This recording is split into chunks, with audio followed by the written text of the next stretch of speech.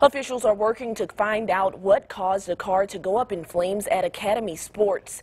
Here's a video captured by a viewer. Sport smoke could be seen for at least a mile away. Battalion Chief Scott Morgan says no one was injured. At this time, they don't know where or how the fire started.